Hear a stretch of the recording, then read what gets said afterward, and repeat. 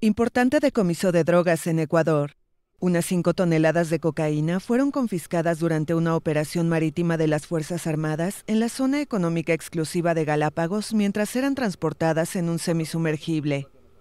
Ubicado entre Colombia y Perú, principales productores de cocaína del mundo, Ecuador se ha convertido en un centro logístico para el envío de esta droga hacia Estados Unidos, Europa y Centroamérica.